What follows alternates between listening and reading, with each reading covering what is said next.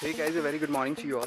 So today I was playing badminton and the quote which I've written for today is that uh, likewise darker side of a person cannot remain hidden. Same is for the brighter side. So do good deeds without thinking about getting rewards of it. So what I want to say is that most people do good deeds but flaunt it more, which is not a good thing. Do from your heart, the satisfaction you will receive is the best award. So do remember this, keep exercising, keep smiling, be happy and be fit. Have a good day.